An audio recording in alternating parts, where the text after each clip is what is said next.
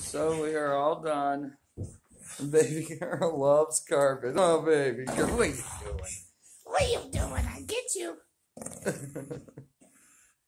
Another walk through of the house. I never did come in this bedroom, did I? Hey, Joe, you still have keys in there. All he has to do is put that hood up.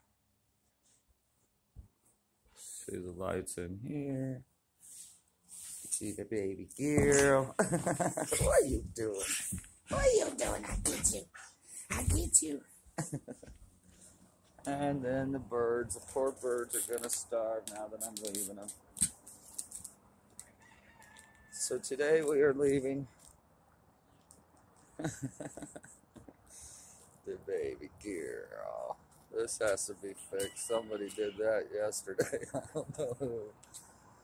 I don't know who or what. That still has to be painted and scraped. So, see the siding? Different siding, that's for sure. I didn't like it at first. But it actually is not bad. This porch. Just beautiful? So we're out of here, man.